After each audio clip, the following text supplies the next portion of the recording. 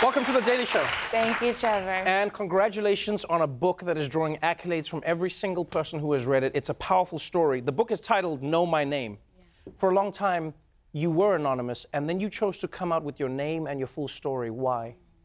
Well, I wanted the title to be declarative and definitive to say, I am choosing to step forward and I'm not going to hide anymore because this is not my burden to carry. I feel like at this point, I know who I am, I know what I'm worth, and I know what I'm capable of. And when you know yourself on that deep level, it becomes very hard to mess with you. Oh, I like that. I feel like I feel like that's what the story and the book is all about. You know, you you you wrote down your experiences on the pages of this book and you write beautifully, but it's also painful and triumphant at the same time. How long did it take you to, to, to move from a place in your life where you were only thinking about the pain to then moving to a place where you're like, no, I'm going to turn this into my triumph and I'm going to turn this into a rallying cry? Mm, well, one post it note I had next to my desk as I was writing just said, feel what I felt.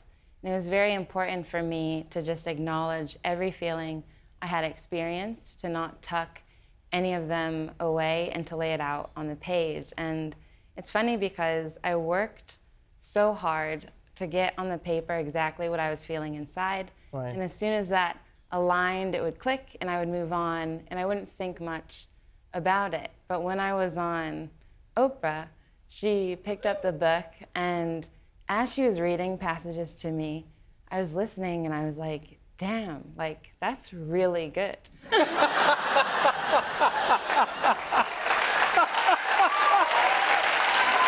yeah, that's. Uh, That's what that's what Oprah does. She, yeah. Uh, she'll read your book to you, and then you're like, I need to buy my book. You're like, I know, I'm a genius. Right but but I but I understand why so many people are connecting with it because the book is not just powerful in that it tells your story. It unfortunately tells the story of so many other women out there, not just in America but in the world. Yeah. You know, the Brock Turner case was one where everyone felt like the case wasn't handled well. Everyone felt aggrieved on your behalf. You you had you had the story where it, it was cut and dry.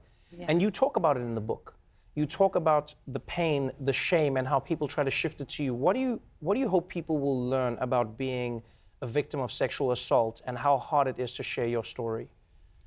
I write in the book, your character is not what caused your hurts to happen. And as you go through this process, you will find people who try to intimidate you, who will scare you into silence, people who want to humiliate you and tell you that you are crazy and you are small. And I want to say, you are not crazy and you are not small. So know your truth, hold on to that truth, and it will carry you where you need to go.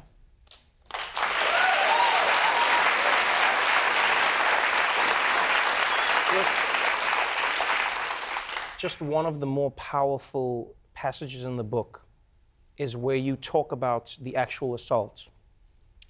And because you were blacked out, you have to tell the story partly from what you remember and then using the account of the Swedes who came to your aid.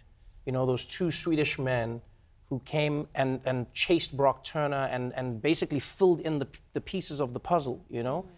What's interesting is, is, is what you write about them, and you say it made you realize that it wasn't, you know, in all of these stories, it's not just the person that is doing the bad thing and the person that the bad thing is being done to, but there are those who see it and identify it as wrong and they do something about it. Yeah.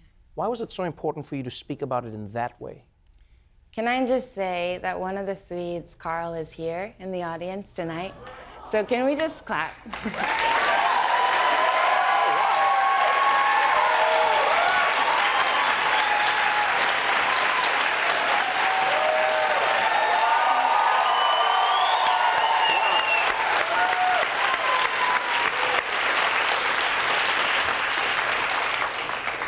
Um, anytime you see him on the street, you are now required to clap.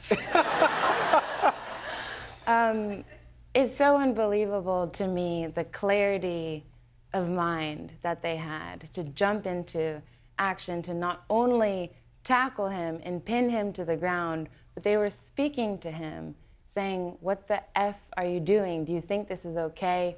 Apologize to her. They wanted to make sure I was being taken care of. And I think for me, on the same night where one of the most terrible things happened, this miracle happened, which is that I was saved. And so as I went through the trial and I was stuck in sort of the darker parts and really down on myself, I still had this hope that there are people out there who want me to get better, who are doing the right thing. And I just have to keep following that part. And that's how I'm going to get out on the other side. I mean, if there's guys like that that exist in this world, why do we lower our expectations? Yeah. yeah.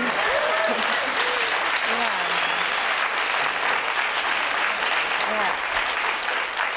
we don't we don't need to make excuses for predators. We don't need to make excuses for people who don't know how to treat another person decently, who don't know right from wrong, because there are people sitting here who do. Wow. The book is a celebration. The book is a journey. It's powerful.